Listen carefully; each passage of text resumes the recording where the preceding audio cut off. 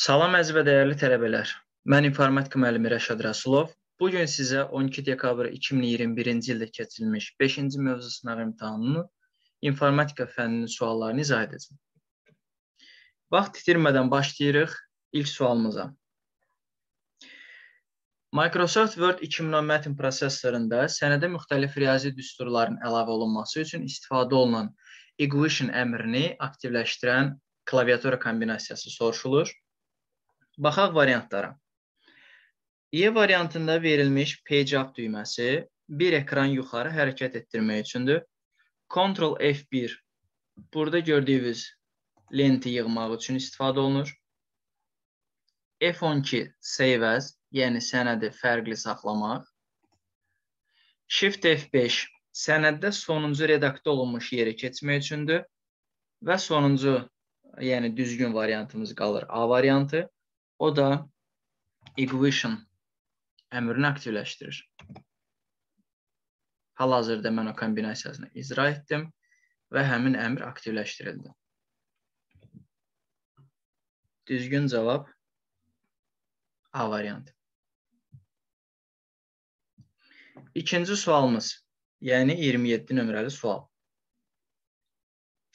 Hər birinin həcmi 15 MB olan fayllarla tam doldurulmuş 60 MB tutuma malik qovluğun məzmununu ən azı neçə ədəd 20 MB-lıq diskə köçürmək olar? Şərtimiz də ondan ibarətdir ki, fayllar bütöv şəkildə yerləşdirməlidir. Bu nə deməkdir? Yəni biz faylı bölüb hissə-hissə diskə yerləşdirə bilmərik. Fayl mütləq bütöv şəkildə diskə yazılmalıdır. Başlayırıq hardan? Fərz edək ki, bizim bir qovluğumuz var və bu qovluq 15 megabaytlıq fayllardan ibarətdir. Qovluğu, qovluq da tam dolu bir qovluqdur və qovluğun ümumi tutumu 60 megabaytdır. Belə çıxır ki, əgər qovluq 15 megabaytlıq fayllardan ibarətdirsə və ümumi həcmi 60 megabaytdırsa, deməli həmin qovluğun daxilində bu fayllardan 4 dənədir. Sualda nə istəyir? Bu 4 ədəd faylı yerləşdirmək üçün neçə ədəd minimum sayda, ən az sayda neçə ədəd 20 megabaytlıq disk lazım olacaq.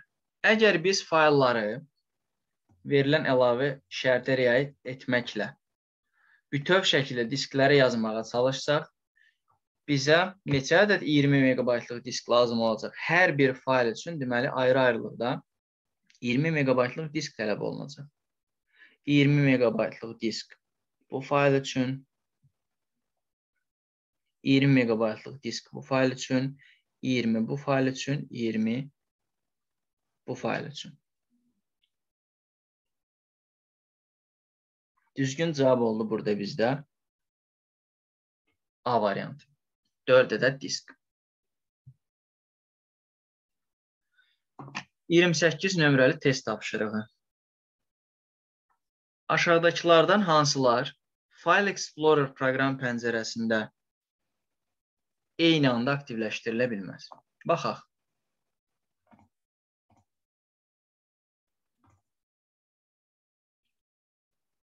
Hal-hazırda fayllarla doldurulmuş bir File Explorer pəncərəsi açaq. Baxaq. Panes adlanan tab qrupunda, view tabının qrupunda preview pane əmri var ki, o faylı açmadan onun məzmununa baxmaq üçündür. Hal-hazırda biz əmri aktivləşdirdik və işçi sayının sağ tərəfində həmin faylın məzmunu əks etdirildi. Həm də faylı açmadan. Biz istənilən faylın məzmununa bu formada baxa bilərik. Faylı açmadan. Bir də details pane adlanan əmr var ki, o əmr həmin fayl haqqında təfərrüatları göstərmək üçündür. Hər ikisi File Explorer-da işçi sayının sağında açıldığı üçün və eyni anda ola bilmədiyi üçün deməli birini aktivləşdirəndə digər əmr passivləşir. Biz eyni anda details pane və preview pane əmrlərini görə bilmərik. Baxaq. Demək burada oldu details pane və preview pane. Düzgün cavab 3-5 A variantı. Sual nömrə 29. Açılmış sənədlə bağlı vəziyyət sətrində verilmiş məlumatlara əsasən bilmək olar ki, sənədin 7-ci səhifəsinin nömrəsi 11, sonuncu səhifəsinin nömrəsi isə 16-dır. Sənədin ümumi səhifələrinin sayı neçə bərabər? Baxın, uşaqlar, bizdə sənədin vəziyyət sətrində belə bir yazı var. Belə rəqəmlər var. Yaxınlaşdırım sizin üçün. Bu rəqəmlərin ifadə elədiyi məna nədir? 8 mənim hal-hazırda işlədiyim sənədin ümumi səhifə nömrəsidir. 2 hal-hazırda kursorumun durduğu səhifədir, cari səhifədir. 6 isə cari səhifənin səhifə nömrəsidir. Gəl bunu aydınlaşdıraq. Bu nə deməkdir? Mən hal-hazırda ikinci səhifədəyəm və ikinci səhifəmin nömrəsi 6-dır. Ümumi səhifə sayım isə 8-dir. Birinci səhifənin nömrəsini tapmaq üçün belə bir üsulumuz var. Aşağıda qeyd olunan 6 və 2 rəqəmlərindən istifadə edib 6-dan 2-ni çıxırıq. və aldığımız nəticə neçə olacaqsa, üzərinə 1 gəlməklə biz birinci səhifə nömrəsini tapa bilərik. Sonuncu səhifəmizin nömrəsini tapmaq üçün isə neçə səhifəlik sənəddir? 8 səhifəlik sənəd olduğu üçün 8 gələrik. Səhifələrimizin sayını. Belə çıxır ki, bizim ikinci hal-hazırda cari səhifəmiz, ikinci səhifəmiz əgər 6-dırsa, Sonuncu nömrəmiz də, sonuncu səhifəmizin də nömrəsi daha doğrusu 12-dir. Gəlin yoxlayaq, həqiqətən də sonuncu səhifəmizin nömrəsi 12-dirmi? Bəli, sonuncu səhifəmiz 12-dir. Bu qaydaya əsaslanaraq, gəlin indi bu test tapşırığını həll edək. Əgər 7-ci səhifəmiz 11-dirsə, Biz 11-dən 7-ni çıxarıq.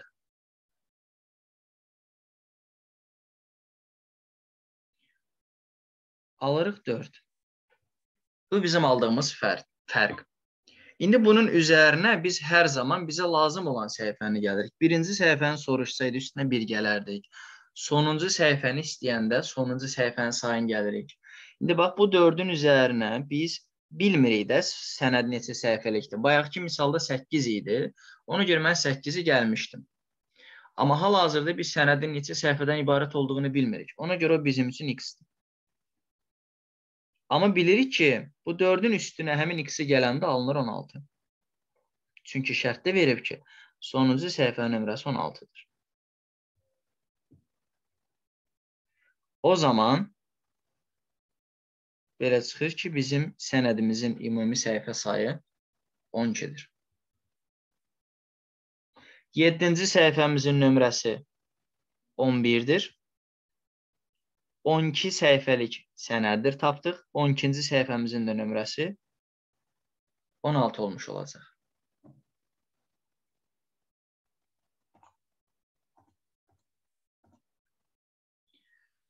Otuzuncu sual.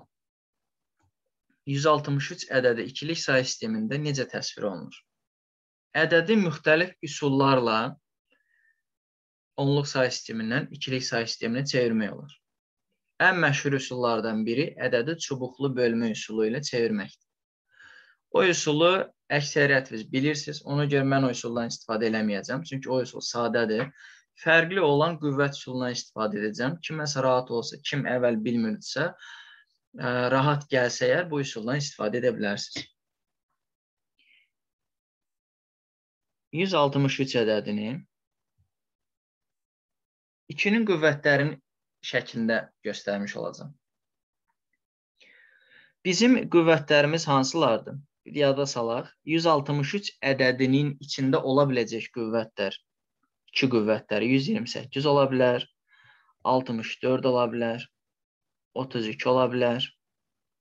16, 8, 4, 2 və 1 ola bilər.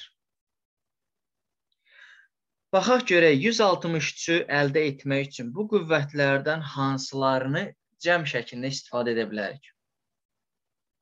Ən böyüyündən başlayacağam. 128 istifadə oluna bilərmi? Bəli. 128 var. 163-ü tamamlamaq üçün 28-in üzərinə çatmayan hissə 35-dir. 35-i əldə etmək üçün bizə lazım olan qüvvət belə çıxır ki, 32, 2 və 1-dir. Yazıram bura 32, 2 və 1.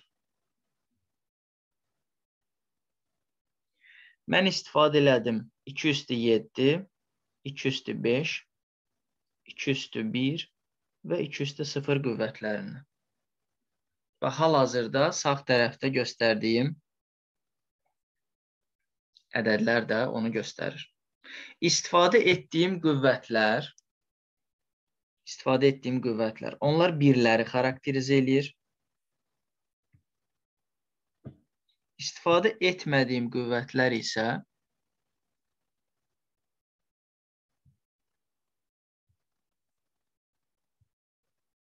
onlar da sıfırları göstərir. Bizim aldığımız bu ədəd hansı variantda verilib? 1, 0, 1, 3, 0, 1, 1. A variantında.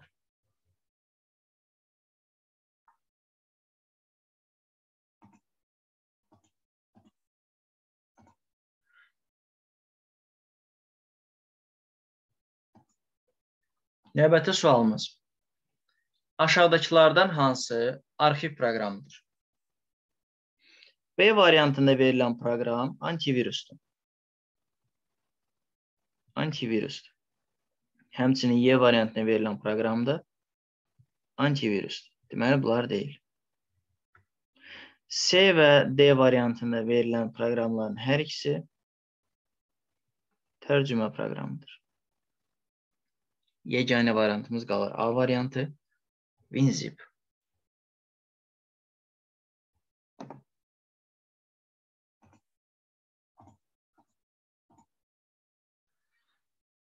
Otuz iki nömrəli sual. Kompüterə gələn dəyişən cərəyanı sabit cərəyana çevirən qurğunun adı nədir? Digitizer qrafiki planşetdir məlumatları kompüterə daxil etmək üçün istifadə olunan giriş qurğusudur. Bu deyil. Tranzistor nədir? İkinci nəsil kompüterlərin element bazası kimi istifadə olunan element. Deyil. Takt impulsları generatoru nədir? Takt impulsları generatoru elektrik impulslarını generasiya edən ana plat üzərində yerləşən qurğudur. və yarım keçirici diod. O da yarım keçirici diodlar, tranzistorlar. Bunlar ikinci nəsil kompüterlərin element bazasıdır. Yeganə variant qalır bizdə qida bloku. Qida bloku sistem blokunun daxilində yerləşən və ə, e, dəyişən cərəyanı sabit cərəyana çevirən bir qurğudur.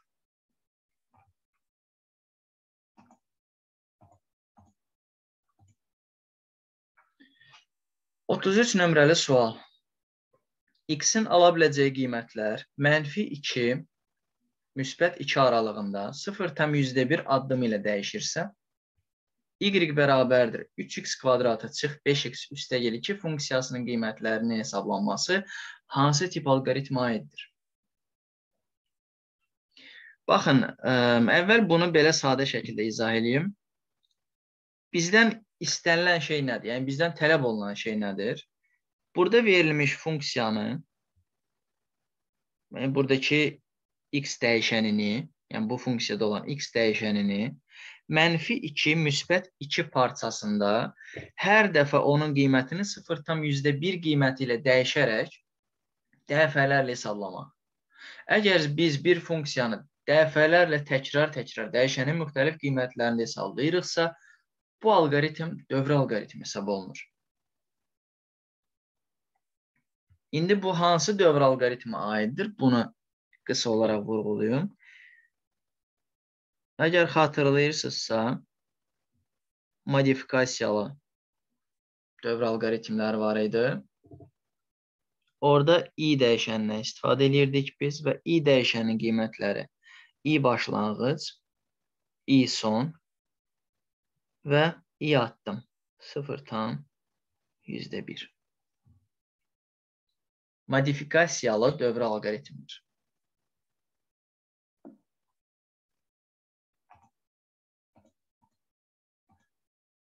34. Seçilmiş faylın eyni bir diskin daxilində yerləşən bir qovluqdan digər qovluğa drag and drop texnologiyasının köməyi ilə köçürülməsi üçün klaviaturanın hansı düyməsi basılı saxlanılmalıdır? Baxaq. Mən iki qovluq açmışam. Əvvəlcədən bunu hazırlamışam sizin üçün. Baxaq. Ə, əmin olmaq üçün baxaq görək bu qovluqlar hansı disklərə məxsusdur. Adres bardan biz bu qovluğun C diskinə aid olduğunu görə bilərik. Eyni ilə bu qovluğun da C diskinə aid olduğunu görə bilərik. Qovluqlar eyni bir diskə aiddirlər. Sadəcə olaraq onların yerləri, onların yerləşmə mövqeləri fərqlidir. Yəni, bu ayrı bir yerdə yerləşir, bu isə ayrı bir yerdə.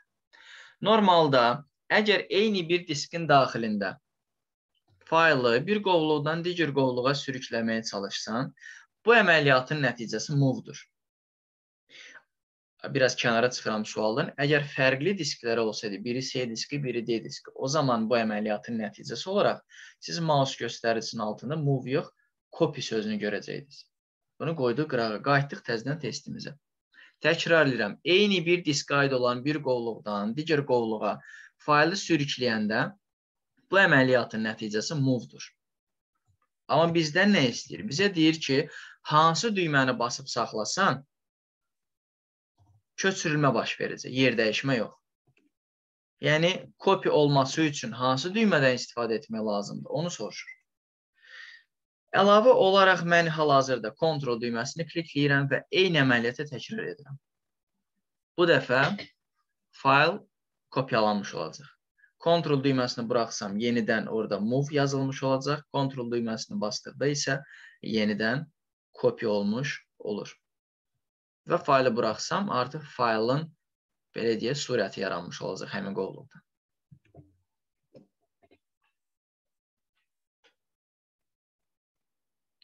Cavab oldu C variantı. Drag and drop texnologiyası nədir? Onu yadımıza salaq. Drag and drop texnologiyası mübadilə buferindən istifadə etmədən obyektin hər hansı bir yerdən başqa bir yerə köçürülməsi və yaxud yer dəyişməsi. Hal-hazırda biz kontroluna bastıq, basılı saxladıq, faylı dartdıq, başqa bir qovluğa buraxdıq. O kopyalandı, köçürüldü, amma mübarilə buferi istifadə olunmadı. Buna drag and drop texnologiyası deyilir.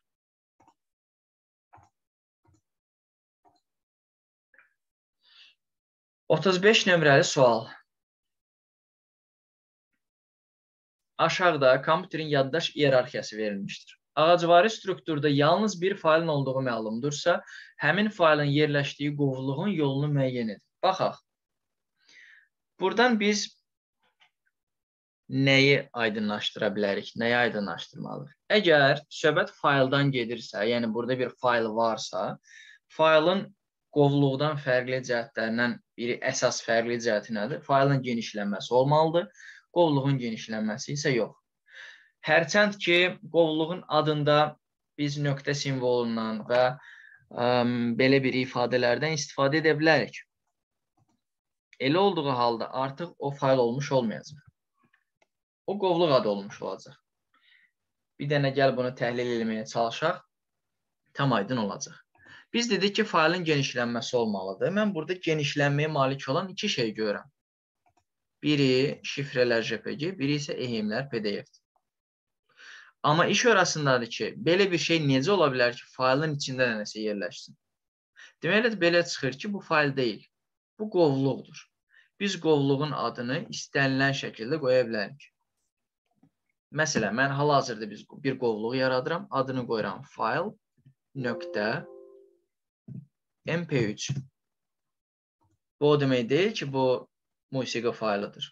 Bu qovluq adıdır. Yəni faylın içində heç bir şey olmaz, amma qovluğun içində nəsə ola bilər. Belə çıxır ki, şifrələr JPG fayl deyil. fayl olsaydı onun içində heç nə olmazdı. Yeganə fayl olaraq mövcud ola bilən şey o zaman budur. Deyə bilərsiniz ki, bəs bəlkə bu da qovluq adıdır. Ola bilər də biz qovluq adında nöqtə PDF yaza bilərik. Amma sualın şərtində bizə yazıb ki, faylın olduğu məlumdur. Yəni mütləq burada fayl var. Yəni bunun belə olduğu halda qovluq olma ehtimalı yox. Sonra həmin bu tapdığımız ehemlər PDF faylının yerləşdiyi qovluğun yolu istəyir. E, yolu soruşulur bizdən. Faylın yerləşdiyi qovluq informatika qovluğudur. İnformatika qovluğunun yolu. Diqqətli olun uşaqlar. Əgər obyektin yolu soruşulursa, obyektin yolu həmin obyektə qədər ki hissə götürülür. Yəni D magistr. Amma əgər şərtdə əlavə olaraq tam sözü istifadə olunsaydı, yəni yerləşdiyi qovluğun tam yolu deyilsəydi, onda informatika qovluğunun özünü də götürərdik. Onda cavab olardı Y variantı. Amma bizdə tam sözü yoxdur. Bizdə sadəcə qovluğun yolu deyilir, tam yolu yox. Qovluğun yolu. Onda özünü götürmürük. Özünə qədər ki, hissəni götürürük. Başdan özünə qədər.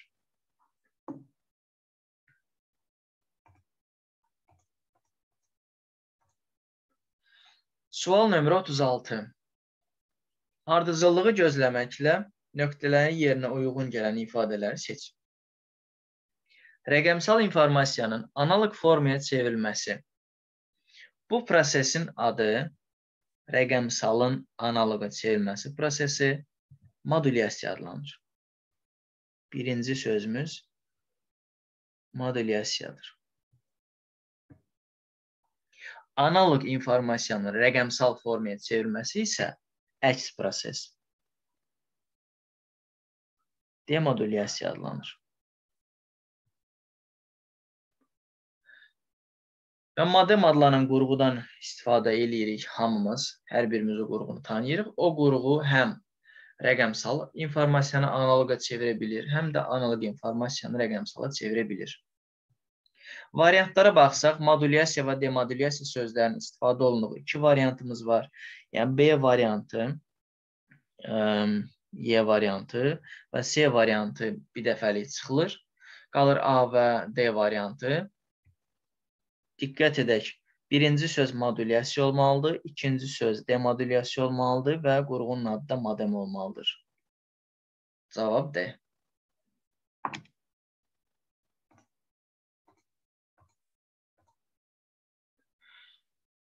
37-ci sual.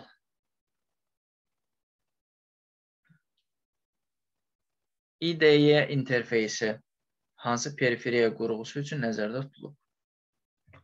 Dərsliyimizdən bir fraqment vermişəm sizə. Dərsliyimizdə bu barədə məlumat yazılıb ki, sərt disklərdə istifadə olunan interfeys IDE interfeysi. dərsliyimizdə qeyd olunub. Yəni, nə display deyil, nə printer deyil, nə klaviatura, nə skaner. Cavab A variantı.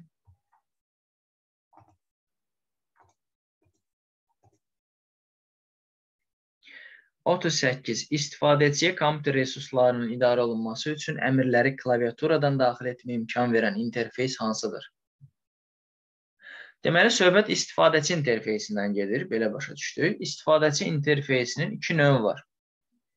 Əmrli interfeys ola bilər bu, yaxud da obyekt yönlü interfeys.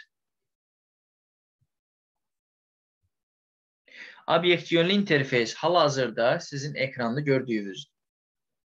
Pəncərə interfeysi, obyektlər, mausun göstəricisi, yəni vizual gördüyümüz hər bir şey obyekt yönlü interfeys hesab olunur. Əmrli interfeys isə MS-DOS əməliyyat sistemində istifadə olunan interfeysdir. Əmrlərin klaviatura vasitəsilə yerinə yetirilməsini təmin edən interfeys. Əmrli yaxud mətni interfeys də buna demək olar. C variantı. Təbiətdə radiodalğalar şəklində yayılan informasiyalar hansı növə aiddir? informasiyanı daşıyan fiziki proses siqnaldır. Siqnallar da öz aləmində iki formada ötürülə bilər. Ya kəsilməz formada, yəni fasiləsiz ötürülən siqnallar şəklində, ya da fasiləli, yəni diskret formada. Yəni, ya kəsilməz olmalıdır, ya da diskret olmalıdır. Natamam kəsilməz, qismən kəsilən, kəsilən kəsilməz deyə bir anlayış yoxdur. Diskret siqnallar kompüterdə istifadə olunur.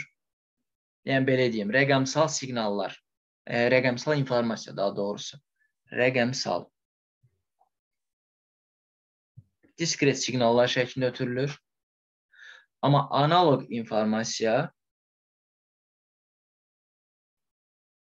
kəsilməz siqnallar şəklində ötürülür təbiətdə dediyi üçün söhbət analoq informasiyadan gedir. Analoq informasiya kəsilməzdir.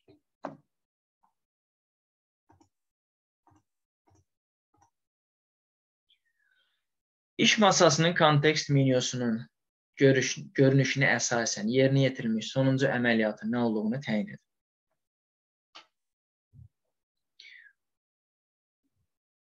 Gəlin belə eləyək. Bu faylın adını dəyişirəm.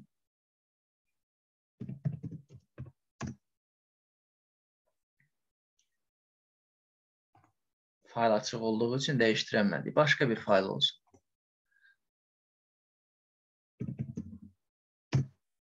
Faylın adını dəyişdik. İndi iş masasının kontekst menyusunda belə bir əmr əlavə olundu. Under rename adlı əmr. Yəni bu o deməkdir ki, hal-hazırda bizim son elədiyimiz əməliyyat rename əməliyyatı idi ki, biz onu ando, yəni Ctrl Z ləğv et. Sonuncu əməliyyatı ləğv et əmri. Biz bunu ləğv edə bilərik və mən bunu icra etsəm, bu faylın adı dəyişib yenidən əvvəlki formaya qayıdacaq. İndi yenidən kontekst menyu daxil olduqda redo adlanan əmr peyda oldu. Redo əmri nə zaman gəlir? Redo əmri ando edildikdən sonra peyda olur. E, yəni ləğv edilmiş əməliyyatı təzədən icra etmək üçün. Bizim son elədiyimiz şey nə oldu? Biz son olaraq e, belə deyim, ardıcıl sayıram. Faylın adını dəyişdik. Sonra girdim kontekst menyuya sizə göstərmək üçün. Həmin faylın ad dəyişməsini ləğv elədim. Ando rename elədim. Sonuncu əməliyyat o oldu. Və redo rename gəldi ki, mən yenidən bunu icra eləyib o adlandırmanı geri qaytarım. Qaydaq testdən. Baxın, redo əmri gəlib. Redo əmri, ando əmri icra edildikdən sonra gəlir ki, ləğv edilmişi geri qaytar. Və təkrarladım. Demək, sonuncu əməliyyatımız nə olub? And öyrənəyim. Sonuncu əməliyyat and öyrənəyim olub ki, onu təzdən icra etmək üçün redön öyrənəyim əmri gəlir.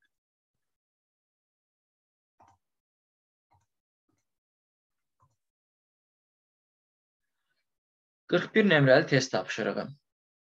Alqoritmdə istifadə edilən şərt bloku nəyə xidmət edir? Şərt bloku necə ifadə olunur? Rom şəklində rombun künclərindən hə, yox çıxırdı. Hər tərəfə getdikdə hər hansı bir əməliyyat yerinə yetirilir yox tərəfdə isə digər əməliyyat yerinə yetirilir. Yəni, bax, bu şərt bloku nə üçündür? Həll istiqamətini idarə etmək üçün. və yaxud da ki, deyə bilərik ki, idarə etməni istiqamətləndirmək. Y variantı.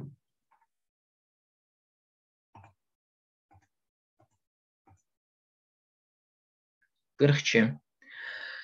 Cədvəlin xanasına şəkil daxil edildikdə hansı alət tabı və yaxud tabları Ribbon Tabs bölməsində aktiv şəkildə əks olunacaq? Gəlin yoxlayaq. yeni bir Word faylının içərisində bir cədvəl quraq. Cədvəllərlə işləyən zaman dizayn və layout kontekstual tablar açılır. İndi isə insert tabının illustrations qrupu ilə biz şəkil əlavə edək. Şəkil əlavə etdikdən sonra format, kontekstual tabı və bu şəkil cədvəlin daxilində olduğu üçün dizayn və layout kontekstual tablara əks olundu. Burada hər üç kontekstual tabına da çəkilib format, dizayn, layout. Hər üçünü biz gördüyümüz üçün düzgün cavab Y.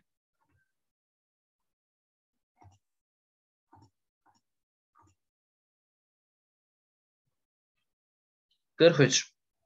Uyğunluğu müəyyən edin. Şin mikroprosesor kontroller.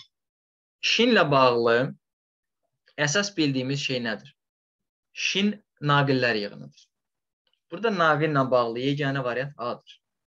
Bəli, şinlər əmr siqnallarının ötürülməsini təmin edən naqillərdir. Deməli, 1 A-dır.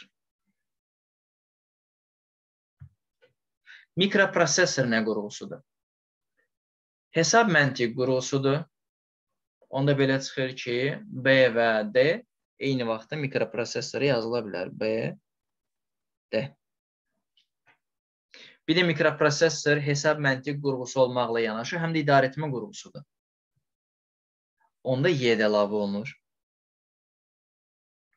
Kontrollerə qaldı bir şey, o da xarici qurğuların işini idarə etmək. Bəli, kontroller xarici qurğuların işini idarə edən mikrosxemdir. 3 isə 1A, 2B, D, Y, 3 isə S. Cavab Y variantı.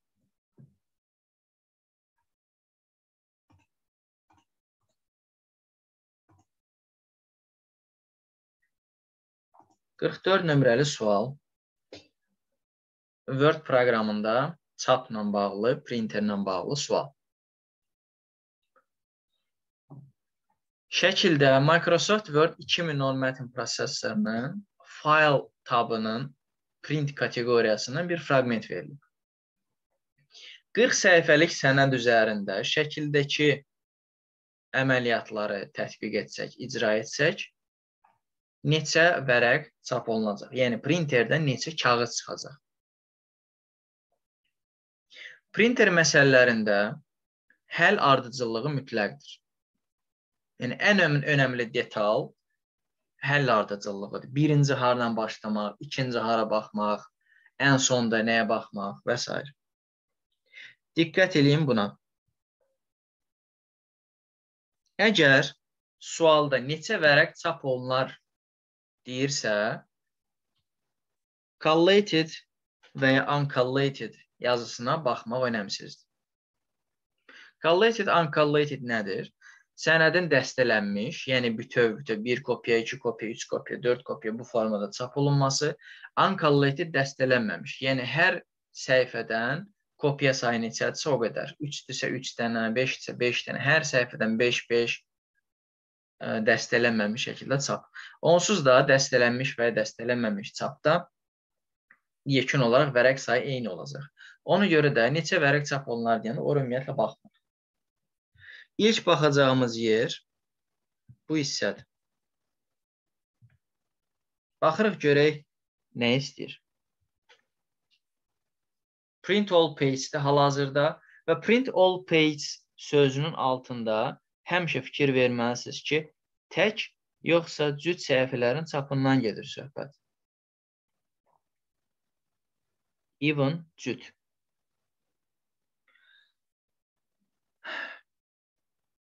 Orada print all page yazılsa belə şərtdə yuxarıda yazıb ki,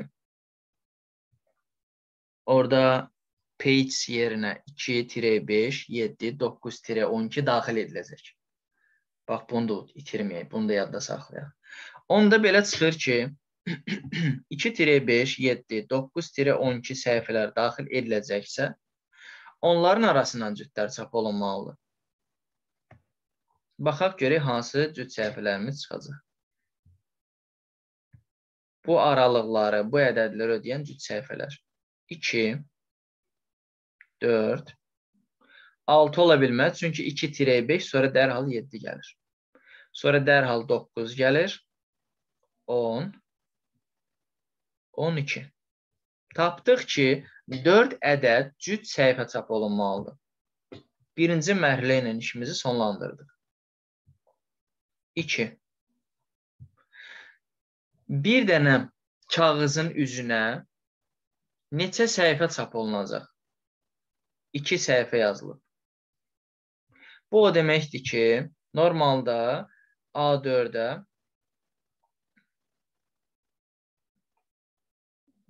bir səhifə bütöv şəkildə çap olunur. Amma bu belə olmayacaq. Two page per sheet əmri verildikdə printerdən çıxan bir səhifənin üzərinə iki səhifə xırda-xırda çap olunmuş olacaq. Onda belə çıxır ki, birinci səhifəyə, yəni birinci A4 səhifəsinə 2 ilə 4 çap olunmuş olacaq. Yəni belə yazın. 2 ilə 4 bura. Digər bir səhifəyə isə 10 və 12. Üçüncü baxacağımız addım. Sənədin çapı bir üzdüdür, yoxsa iki üzdüdür? One-sided yazıldığı üçün belə çıxır ki, sənəd bir üzdü çıxmış olacaq. Yəni bizim bu tapdığımız səhifələr arxa-arxaya çıxmayacaq. Bu ayrı bir kağızda çıxacaq, bir kağız. Bu isə ayrı bir kağızda çıxacaq. Bu da ikinci kağız. Tapdıq ki, iki vərəq elədi. İki vərəq bir nüsxənin vərəqlərinin sayıdır. Biz isə son olaraq bura baxmalıyıq neçə nüsxə çap olunacaq ona baxırıq. Əgər bir nüsxə 2 vərəqdən, 2 kağızdan ibarətdirsə, 3 nüsxə, yəni 3 kopya 3 vurulsun 2 vərəq yəni 6 vərəqdən ibarət olmuş olacaq. Düzgün cavab C variantı.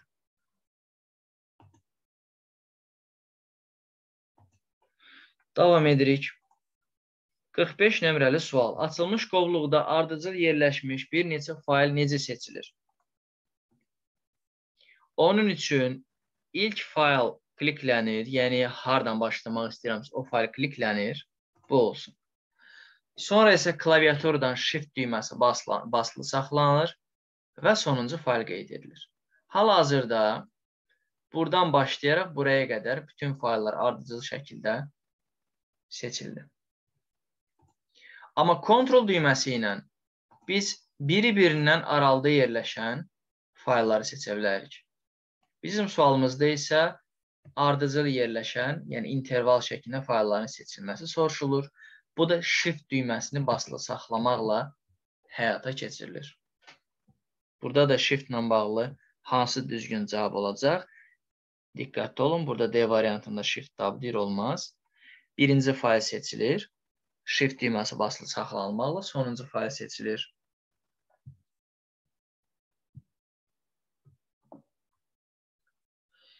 Qırx altı nömrəli test tapşırığı. İnstrumental proqram təminatına aid olan proqramlaşdırma vasitələrini seçin. Case texnologiyaları.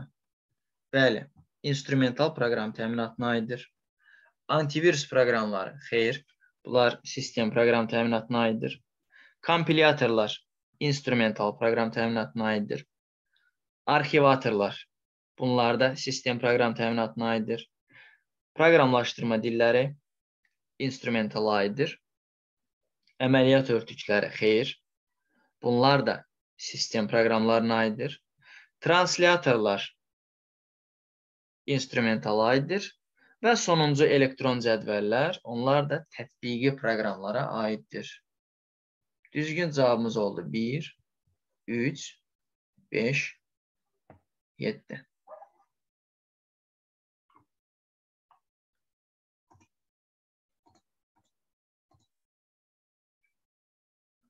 Word 2010 mətn prosessorunun aşağıdakı hansı görünüş rejimlərində şaquli xəttkeş görünmür? Baxaq. Hal-hazırda ekranda açdığımız faylın bir neçə görünüş rejimini tətbiq etməklə yoxlayaq, baxaq görək hansı xəttkeş, hansı görünüş rejimində hansı xəttkeş görünəcək. Word-də sənədin 5 görünüş rejimi var. Susmaya görə təyin olunan görünüş rejimi print layout-dur. Çap tərtibatı. Bu görünüş rejimində həm üfüqi, üfüqi belə deyim də, horizontal olan ə, e, xəttkeşdir. Şaquli isə yuxarıdan aşağıya doğru olan xəttkeşdir, sol tərəfdə. Print layoutda hər iki xəttkeş görünür. Full screen reading-də xəttkeşlərin heç biri görünmür. Web layout görünüş rejimində yalnız üfüqi xəttkeş görünür, şaquli yox.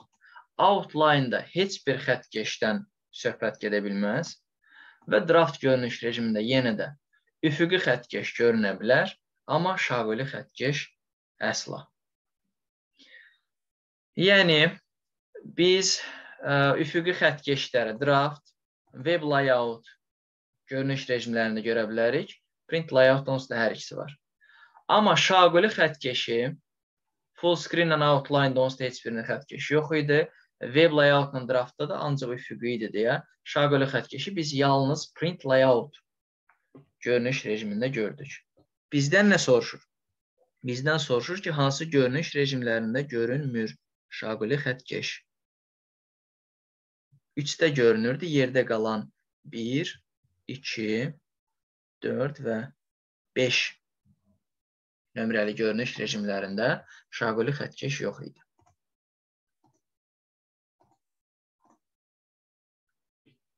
Sual nömrə 48.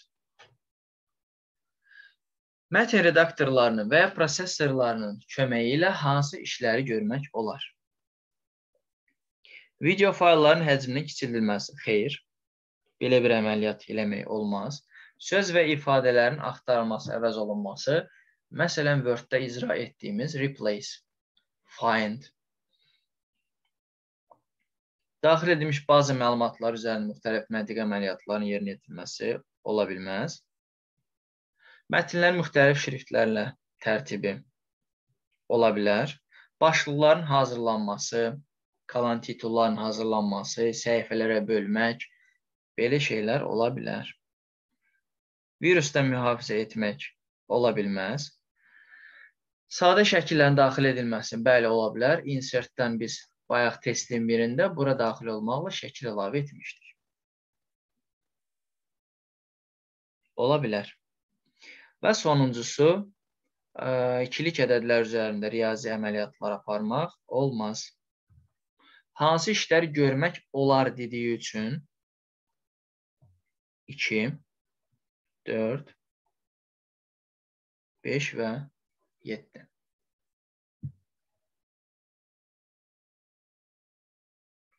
Qırx doqquz.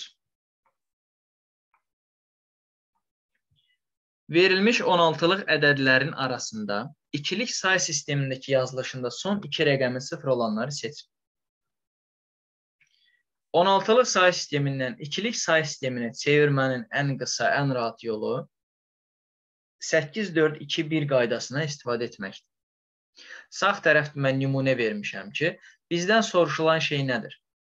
Son tetradada, yəni 8-4-2-1-ləri ədədləri böləcəmində, onun son təkli mərtəbəsində olan tetradasında hansı ədəd bu şablona riayət etmiş olacaq? Yəni, axırında 2 dənə sıfırı görmüş olacaq. Baxaq. Birinci ədədimiz 8-4-2-1 qaydası ilə ayrılır.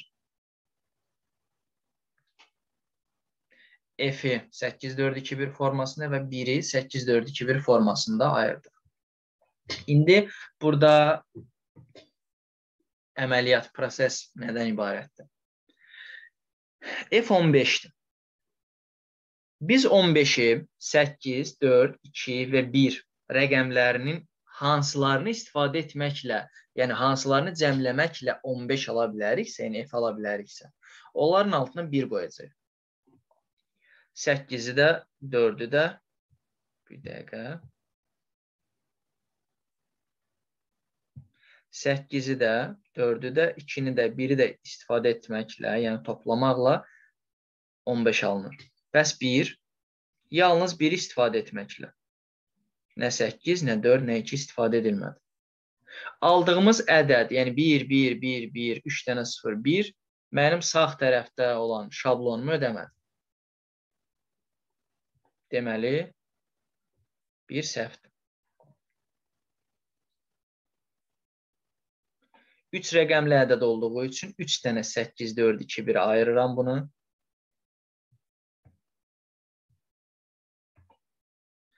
1 necə əldə olunur? Yalnız birdən istifadə etməklə. Nə 8, nə 4, nə 2 iştirak etmir. 9, 8 və 1-dən istifadə etməklə 4 və 2 istifadə edilmədi. İndi isə gəldik S-yə. S neçədir? 10A, 11B, 12 isə S-dir. Yəni bu 12-dir. Yaddaş üçün yazıram üzərinə. 12-ni necə ala bilərik biz? 8-i və 4-ü toplamaqla. Digərləri istifadə edilmədi. Bax indi bizim ə, bu ədədimizin son tetradası şablonu ödədi. Verilmiş şərti ödədi. Deməli, biri budur.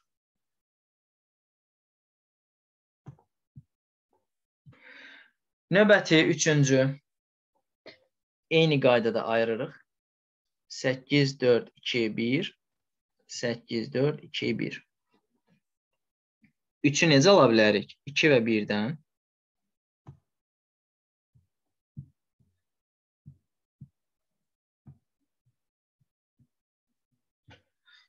Altını isə 4 və 2-dən. Ödəmədi. Deməli, bu da səhvdir. Dördüncü.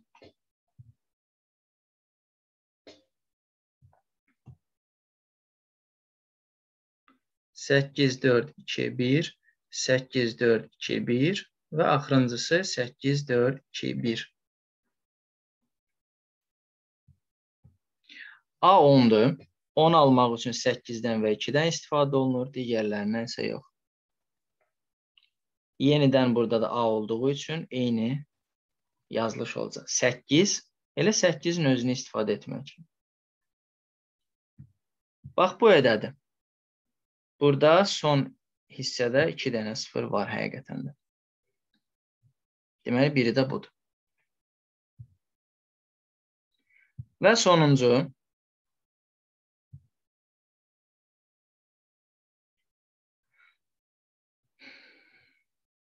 Səkkiz, dörd, iki, bir və səkkiz, dörd, iki, bir. Beşi biz necə ala bilərik? Dörddən və birdən istifadə etmək. Digərlərindən yox. D. Əgər S bayaq 12 idisə, D də deməli 13-dür. 13-i necə ala bilərik biz? 8-i, 4-ü və 1-i istifadə etmək. Yenə bu ədəddə bizim şablonumuzu ödəmədi. Bu da səhvdir. Düzgün olanlar hansılar oldu uşaqlar? 2 və 4.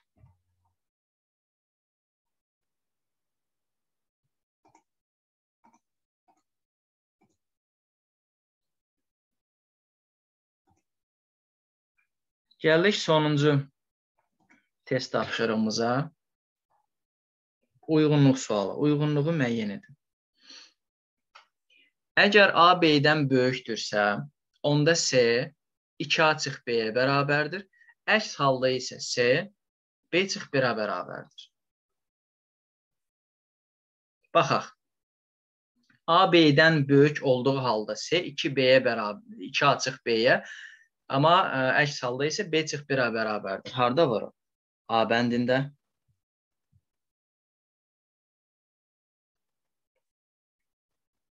İkincisi, əgər A B-yə bərabərdirsə, baxaq görək ümumiyyətlə A B-yə bərabər söhbət harda var? A B-yə bərabər söhbət harda var burada? Bir dəqiqə. Y bəndi. Əg yoxlayaq. Əgər A B-yə bərabərdirsə, hə, onda C bərabərdir A plus B-yə, bəli. Əks halda, yəni yoxa doğru getsək, bu istiqamətdə getsək, B A-dan böyük olsa C A çıx birə bərabərdir. Bəli. Əks halda isə C B çıx birə bərabərdir.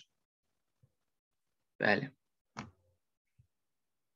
Deməli, 1-ə tapdıq. A bunu qeyd edək. 2 oldu Y. İndi isə 3. A B-dən böyükdürsə, onda C A-ya bərabərdir. A B-dən böyükdürsə, baxaq o harda var? Mən B bəndi ilə C bəndində gördüm onu. A B-dən böyükdür, hə, gedir C bərabərdir A. A B-dən böyükdür, hə, C bərabərdir A. Amma yox tərəfdə bax, əks halda əgər A B-dən kiçikdirsə, onda C bərabərdir B, burada yoxdur. Amma burada var.